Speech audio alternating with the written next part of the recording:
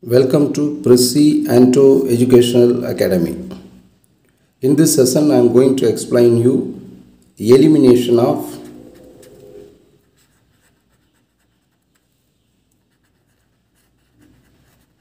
elimination of arbitrary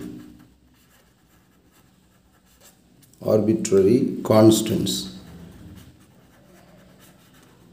elimination of arbitrary constants so how to eliminate the arbitrary constants today i am going to explain you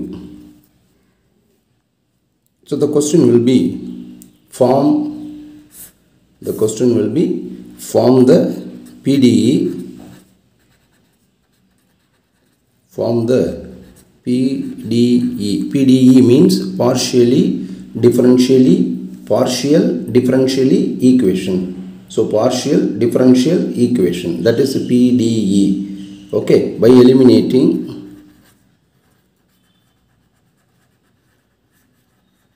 by eliminating the constants A and B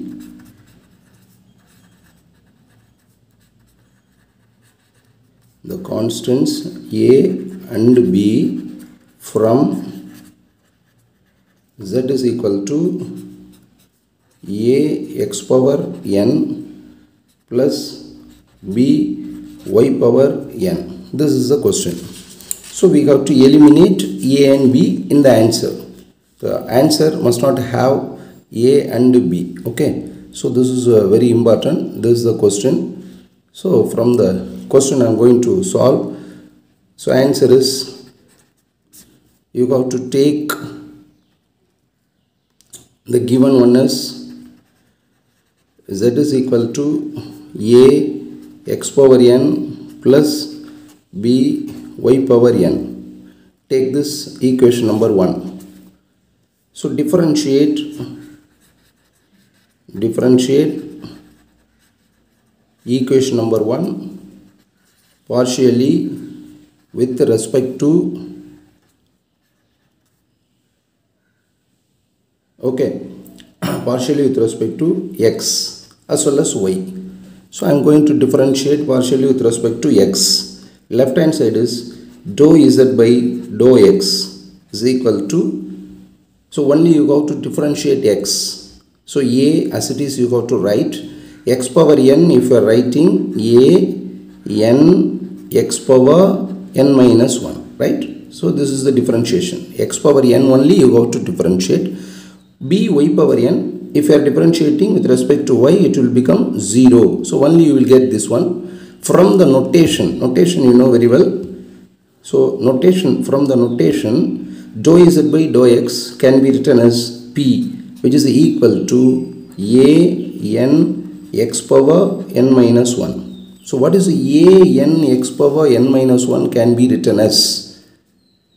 P is equal to a n x power n x power minus 1. Am I right?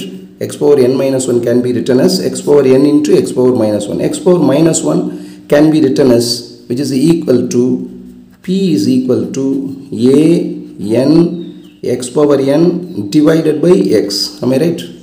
So px which is equal to this a if it goes uh, denominator px by a or px by n px by n which is equal to why I am writing like this? A into x power n. Take this equation number 2 why I have written like this now the in equation number 1 what is there?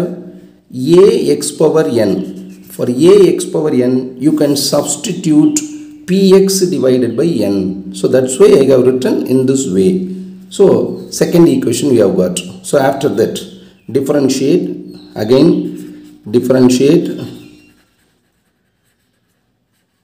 Equation number 1 partially with respect to y. Partially with respect to y.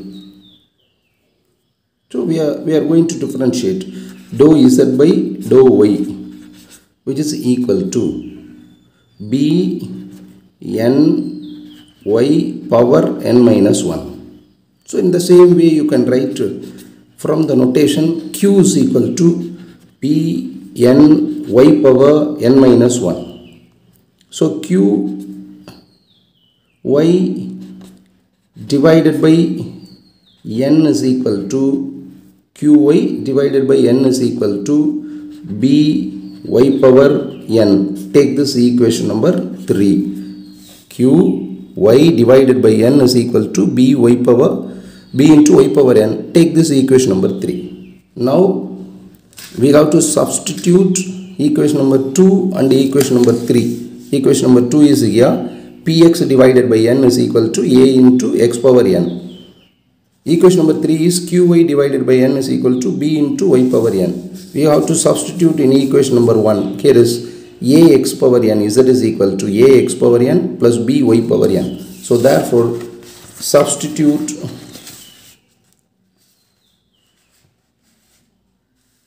substitute substitute equation number 2 and equation number 3 in equation number 1 so therefore equation number 1 becomes z is equal to ax power n px divided by n plus by power n qy divided by n which is equal to z is equal to px plus qy divided by whole divided by n.